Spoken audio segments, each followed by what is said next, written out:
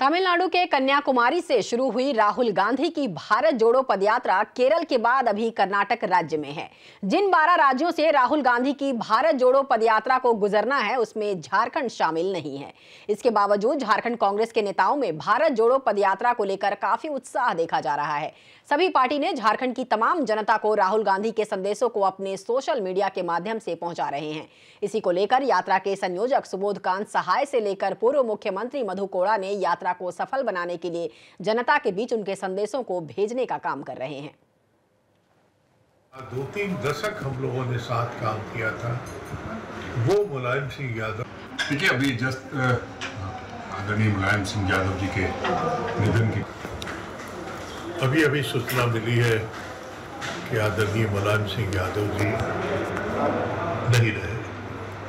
मुलायम सिंह यादव जी तो समाजवादी आंदोलन के ऐसे विराट व्यक्तित्व के मालिक थे, जिन्होंने पूरे जीवन इस लक्ष्मण रेखा को पार नहीं किया और समता का समाज बनाने के लिए संकल्पित रहा मुलायम सिंह यादव जी की क्षति, हम जैसे लोग जो उनके साथ दो तीन दशक हम लोगों ने साथ काम किया था, वो मुलायम सिंह यादव देखिए अभी जस्ट आदरणीय मुलायम सिंह यादव जी के निधन की खबर प्राप्त हुई है।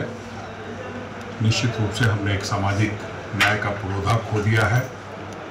एक समाजवादी नेता के रूप में एक रक्षा मंत्री के रूप में मुख्यमंत्री के रूप में उन्होंने जिस तरह से अपनी ज़िम्मेदारी का निर्वहन किया वो सदैव याद रखा जाएगा।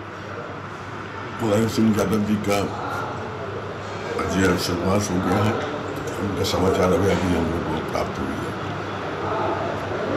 और बहुत ही दुख के साथ में मुझे कहना पड़ता है, देश ने एक ऐसा नेता को खो दिया, जो अपूरणीय है, और उसका कमी हमें महसूस हो गई है महसूस होगी, और इसका अभी भरपाई करना भी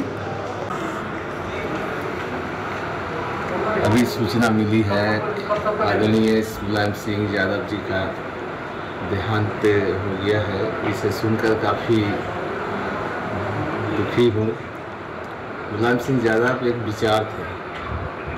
समाजवादी विचार। आज भले आज हमारे बीच नहीं है, लेकिन उनका विचार अजर और अमर रहेगा। देश के एक प्रखर राजनीति